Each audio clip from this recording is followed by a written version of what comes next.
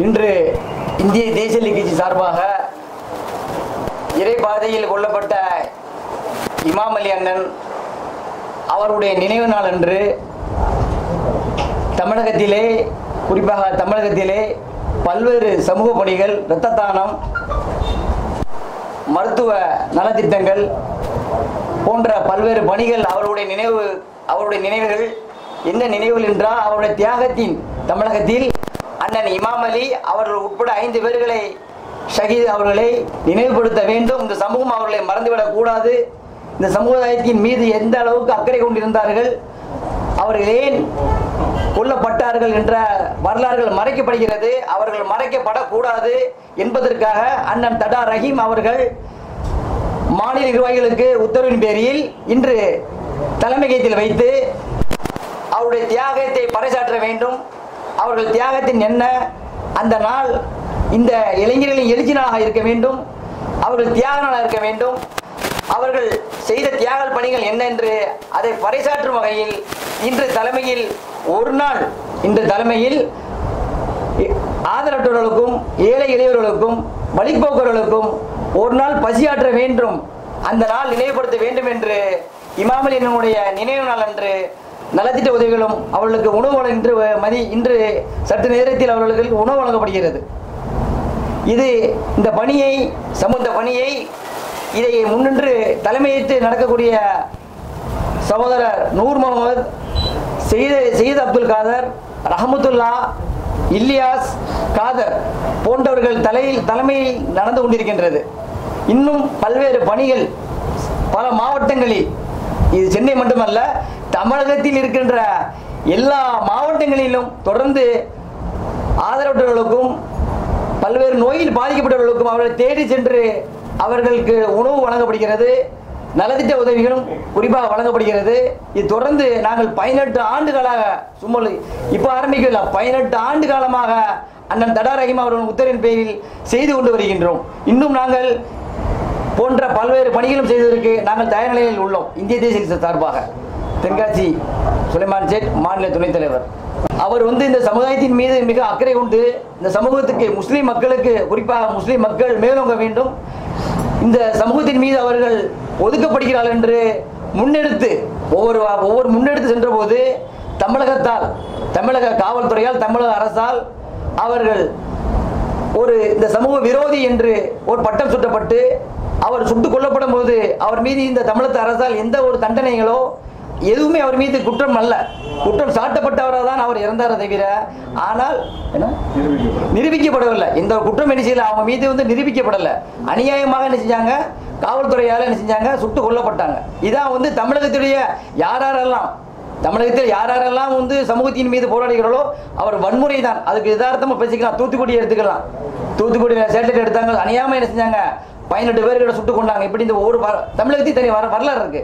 அதே போன்று இவர் சமூகத்தின் மீது அந்தந்த சமுதாயத்தின் மீது ஒவ்வொரு தலைவர்கள் இருப்பார்கள். அதே போன்று அண்ணன் இமாம் அம்மா அவர்களும் அவர்கள் சார்ந்தவர்களும் என்ன செஞ்சாங்க? தன் சமூகத்தின் மீது அக்கறை கொண்டார்கள். அது பாசிசவாதிகளுக்கும் மற்ற பாசிச சிந்தாதிகளுக்கு பிடிக்கவில்லை. அதனால நினைச்சாங்க அவர்கள் மீது ஒரு தீவிரவாத பட்டம் சுமத்து அவர்கள் அநியாயமாக கொல்லப்பட்டார்கள் தவிர வேற ஒரு குற்றம் சாட்டப்பட்டவர்கள் கொல்லப்படவில்லை. அநியாயமாக குற்றம் நிரூபிக்கப்படவில்லை. அநியாயமாக என்ன செஞ்சாங்க அவங்களை கொல்லப்பட்டாங்க. இதுதான் உடைய நிதர்சனம். வேற ஒன்றும் வேற எதுவும் கேள்விலாம் கேளுங்க. அணுகி இருக்கிறாங்க. ஆனால் என்ன செய்யறாங்க நமக்கு தெரியாதா? முஸ்லீம்கள் என்றாலே என்ன செய்வாங்க? முஸ்லீம் என்றாலே அந்த வழக்குகளை வந்து குப்பையில் போட்ட தான் அது எந்த வழக்காக இருக்கட்டும்.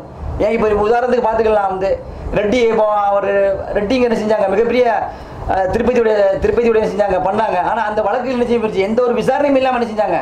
தள்ளுபடி செய்யப்பட்டது. சிபிஐ நினைச்சாங்க. பணத்தை கோத்து பணத்தை கத்த கத்தையாக கொண்டா என்ன செஞ்சாங்க எடுத்தாங்க. திருப்பதி தேவஸ்தானாங்க என்னென்னமோ சொன்னாங்க. எஸ்பி சேகர் எடுத்துக்கிடுங்க என்னென்னமோ செஞ்சாங்க. பா அவங்களுக்கு யார்? பாசிச சிந்தா சித்- சித்தாந்தவாதிகளுக்கு தனி வழக்கு. முஸ்லீம்கள் என்று சொல்லிட்டாலே அவர்கள் நினைச்சிட்டாங்க. ஒவ்வொரு இதில் நினைச்சாங்க புறக்கணிக்கு தான் படுறாங்க.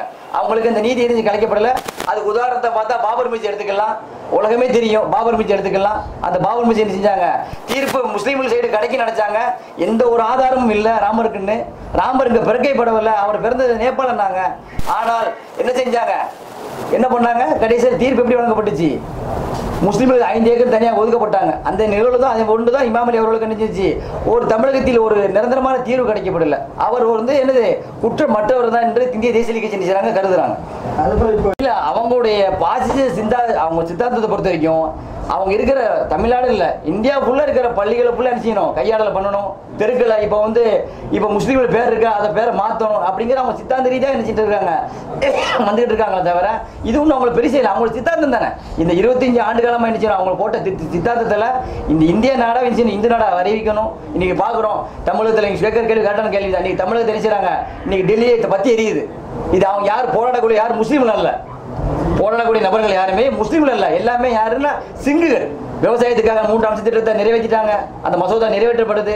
குடியரசு கட்சி தலைவரால் நிறைவேற்றப்படுது. நினைச்சிட்டாங்க அது அனைத்துமே எப்படின்னா முழுக்க முழுக்க எப்படி? பாசிச சித்தார்த்தின் அடிப்படையில் நினைச்சு நடக்கல தவிர ஒன்றும் மக்களாட்சியோ அல்லது நினைச்சல மனிதர்களை ம- மனிதனை மதிக்க வேண்டிய ஆட்சிகள் நடக்கலைங்க அப்போ இப்போ இங்கே நடக்கின்ற ஆட்சிகளை வந்து ஒரு ஒரு கேவலமான ஆட்சிகள் நடந்து கொண்டிருக்கிறது. சாதாரண ஆட்சியில் கேவலத்தின்மை கேவலம் நடந்துகிட்டு இருக்கு. ஏன்னா வந்து இப்போ உமாபாரதியா இருக்கட்டும் முரளி முர- மனோகர் இருக்கட்டும் அத்வானியாக இருக்கட்டும் இப்போ அதுக்குள்ளே இன்னைக்கு பேப்பரில் போட்டாங்க யாருக்கு? உமாபாரதிக்கு வந்து கொரோனா தொத்துன்னு. என்னது? கொரோனா தொத்துன்னு இன்னைக்கு இன்னைக்கு பேப்பர் நியூஸில் வந்திருக்கு. ஆனால் வந்து தீர்ப்பு நம்ம எதிர்பார்க்குறோம். முஸ்லீம் சைடு என்ன தீர்ப்பு எதிர்பார்க்குறாங்கன்னா நிச்சயமாக அவர்கள் இடித்தார்கள் இடித்து செஞ்சாங்க. எல்லா புகைப்படம் இருக்கிறது எல்லா ஆதாரங்கள் இருக்கிறது. ஆனால் தீர்ப்பு நல்ல தீர்ப்பு எதிர்பார்க்குறோம். இல்லைன்னா நம்ம அது மேல் என்ன செஞ்சிட வேண்டியதான் இஸ்லாம் அதுக்குன்னு சொசைட்டி இருக்குது அதுக்குன்னு வந்து ஒரு ஒரு ஒரு நிர்வாகம் இருக்குது அவங்க நீதியாக என்ன நிச்சயமாக அதுக்கு மேலே தான் நம்ம ஜனநாயக நாட்டில் வாழ்கிறோம்ல ஜனநாயக நாட்டில் ஜனநாயக ரீதியாக தான் போராடி கொண்டே இருக்கின்றோம் குரல் கத்தி நினைச்சிட்டு பேசிகிட்டே இருக்கிறோம். அந்த அடிப்படையில் நல்ல தீர்ப்பு வரும்னு சொல்லி எதிர்பார்க்கிறோம். இதில் பார்த்தீங்கன்னா தமிழகத்தில் ஃபுல்லாக குறிப்பாக வந்து சென்னை சென்னை எடுத்துக்கலாம் நெல்லை மாவட்டத்துக்கெல்லாம் நாங்கள் என்ன செஞ்சோம்? அதை நானே என்ன செஞ்சேன் முன்னிட்டு என்ன செஞ்சோம் கொரோனா கொரோனாவுடைய பாதிக்கப்பட்டவங்கள ஹிந்துவாக இருக்கட்டும் முஸ்லீமாக இருக்கட்டும் ம- இருக்கட்டும் என்ன செஞ்சோம்? அவங்களுக்காக நம்ம என்ன செஞ்சோம்? பணிவிட செஞ்சோம் அவங்களுக்காக என்ன செஞ்சோம்? மனிதனை மனிதனை மதிக்க வேண்டும் தவிர என்ன செஞ்சோம்? அந்த அடிப்படையில் செஞ்சோம்? பல்வேறு சமூக பணிக்கு இந்திய தேசிய சிறப்பாக என்ன செஞ்சோம்? நாங்கள் தொடர்ந்து கொரோனா டயத்தில் கொரோனாவில் பாதிக்கப்பட்டவங்களுக்காக நாங்கள் இறங்கி வேலை செஞ்சோங்கிறது இந்திய தேசியங்களுடைய முடிவு பண்ணி செஞ்சிருக்கோம்.